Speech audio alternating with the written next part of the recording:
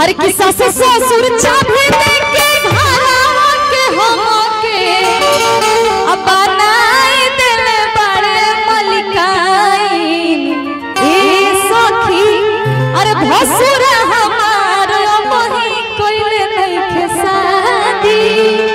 आ हमरे भसुर भइए कहे के बा। अरे किस्सा से ससुर चाबी घरवा के